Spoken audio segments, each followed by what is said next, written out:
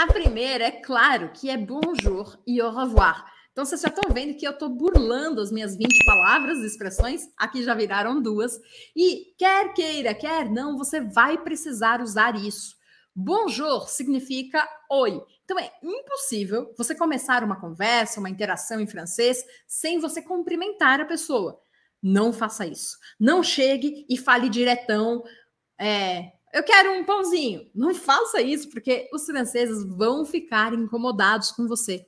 Então você precisa começar cumprimentando a pessoa. O bonjour eu coloquei aqui porque é o que a gente usa maior parte do tempo. É claro que existe a opção bonsoir, para o momento da noite também. Mas a gente usa muito mais o bonjour. Então, se você usar o bonjour, usou o bonjour em outro contexto, sei lá, à noite, não tem problema. O que teria problema é você chegar e começar a interagir com uma pessoa sem falar oi para essa pessoa. D'accord? Alors, bonjour. Situação formal, situação informal é o bonjour que você vai usar. E eu coloquei um mini diálogo aqui para a gente já treinar. Primeiro pequeno diálogo é esse aqui, ó. Tá escrito aqui, ó, né? No finalzinho dessa parte do bonjour. Então, agora você vai ter a oportunidade de escutar minha pronúncia. Eu escutar a minha pronúncia, você vai se abrir aos sons da língua francesa, vai perceber aquilo que você falaria de uma forma diferente de mim. Então, vamos lá, que é uma ótima forma de você treinar. Bonjour, Anna. Tu vas bien? Bonjour, madame. Je vais bien. Et vous? Aqui a gente tem uma situação bem interessante para a gente analisar. E olha, eu falei que a live de hoje é uma live de conteúdo raiz. Falei que nessa aula eu vou sem medo de ser feliz na entrega desse conteúdo. Então, é uma aula que eu vou esmiuçar várias coisas. Eu criei esse pequeno diálogo de propósito, para dar um nó na sua cabeça. Quem aqui tá achando estranho que um personagem falou Bonjour, Anna, tu vas bien? E a outra pessoa, personagem fala Je vais bien et vous? Uma personagem chegou e falou: Bonjour, Anna. Tu vas bien? E a outra personagem respondeu: Bonjour, madame. Oui. Et vous? Aliás, eu esqueci três. Je vais bien. Je vais bien. Je vais bien. Et vous? Et vous? Opa, me deu um nó na cabeça. Existe em francês uma diferença entre o francês formal e o francês informal. Se você ficou na dúvida de por que, que a Elisa usou esses dois na mesma estruturazinha, ó, o Samuel tá falando, je pense que c'est étrange. Acho que tem um erro, acho que é uma pegadinha da Elisa. A Marjorie também tá achando estranho. Vamos entender se isso é normal ou não. Então, primeiro, não é um erro da Elisa. É normal. Isso pode acontecer. É frequente?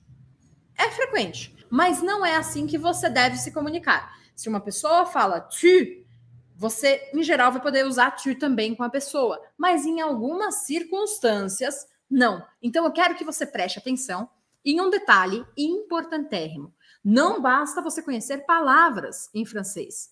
Não basta você decorar as regras do francês. Você precisa se abrir à cultura francófona, à cultura da língua francesa, entender a lógica, como pensam os franceses, para que você comece a pensar dessa forma também. Ao fazer isso, vai fazer uma baita de uma diferença na sua capacidade comunicativa, na sua capacidade de falar fluentemente o francês. Tô vendo aqui, ó, muita gente achou estranho, mas eu vou provar para você que isso é normal. Imagine que a nossa personagem, a tal da Ana, seja uma criança ou uma adolescente falando com uma professora, por exemplo. É absolutamente normal que a professora fale tu e a Ana responda vous porque há um, um nível hierárquico, a gente pode chamar isso assim, um nível hierárquico diferente entre as duas pessoas. Isso pode parecer muito estranho para a cabeça de um brasileiro ou de uma brasileira, onde nós temos uma informalidade normal em, nas relações. Mas em francês, isso pode acontecer. Poderia acontecer também se é uma estagiária tá? E, e, e, a. É que aqui não, não seria assim, né? Porque se de repente a chefe ou a pessoa que é superior a ela a trata de uma forma mais comum, ela pode ainda querer mostrar para a chefe ou para essa outra pessoa que ela tem um respeito imenso por ela. Então, uma pessoa pode usar o tu e a outra usar o vu.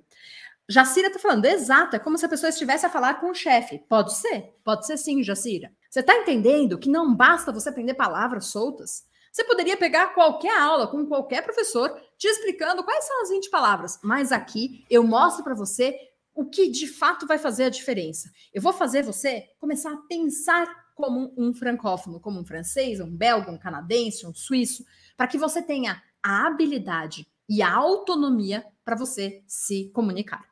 Samuel está falando que está funcionando, que está entendendo. Então vamos dar um passo a mais? Na, no nosso primeiro slide ainda, voltando aqui, nós temos a outra expressão, que é a expressão au revoir. Os franceses dão muita importância para a chegada e para a saída. Então, cumprimentou na hora de chegar? Não esqueça de cumprimentar na hora de ir embora também. Au revoir, au revoir. Eu tô vendo que eu tô com um problema no meu F, no meu teclado. Não sei se vocês estão reparando, mas tem vários Fs que sumiram aqui do meu texto. Au revoir é a forma mais corriqueira de você se despedir. Também pode ser usado numa situação formal ou em uma situação informal. Eu simplesmente posso dizer au revoir, au revoir para uma pessoa que eu trato com respeito, para uma pessoa que é o meu melhor amigo e que não, não quer dizer que eu não, não trate com respeito, mas que eu trate de uma forma mais corriqueira. Então, simplesmente pode dizer au revoir, au revoir. Então, primeira coisa é bonjour. Eu preciso fazer esse arranhadinho aqui na garganta. Bonjour, bonjour, bonjour. Perceba que você não vai ler todas as letras que estão escritas na palavra, apenas algumas delas. Bonjour, e para você se despedir, au revoir. Bonjour, au revoir. Quer ganhar pontos com um francês, suíço, belga, canadense de partida? Comece uma conversa com bonjour, termine a conversa ao se despedir com au revoir. E o au revoir eu quero que você perceba. Eu não falo au revoir, au revoir. Eu meio que corto esse primeiro E. E eu falo au revoir, au revoir, au revoir, tudo junto faça um gesto comigo, porque o gesto vai te ajudar a dizer isso de uma forma mais fluida. Au revoir, sei lá, qualquer gesto. Au revoir, au revoir, au revoir. Ó, a Helenice escreveu aqui no chat do YouTube: au revoir é uma boa forma de vocês começarem a se aproximar da pronúncia da língua francesa, buscar como você escreveria esse som, ok?